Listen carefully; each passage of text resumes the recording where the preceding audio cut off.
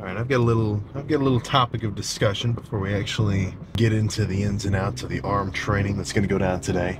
You need something cool, some kind of, uh, some kind of hobby, some kind of activity, just some kind of something long term that you can really dive yourself into. And I'm not saying you have to find that right now. I'm not saying you need that this exact moment, but it's just fucking fun, man. I mean, just think about it. I mean, if you, um, I was just talking to a guy a couple days ago where he had a He's telling me he's got a full shop, like his whole family's kind of into uh like into race cars, so they've got drill presses and like machines. Like he's uh his wife was mad at him because the garage spot that's supposed to be for her car has like an old Corvette and everything else. Like just and the guy's been doing this for years. And I can you can just kind of tell when somebody has something that they're into like that, which isn't like even it doesn't even have to be directly monetary. You know, like everybody's got kind of side hustles and whatnot, but if you can have something that I guess you could combine them, that'd be the best case scenario. But you need something which you can fucking kind of uh, pour some energy into, you know? I mean, it's so if all you do all day is, you know, whatever your job ends up being or school or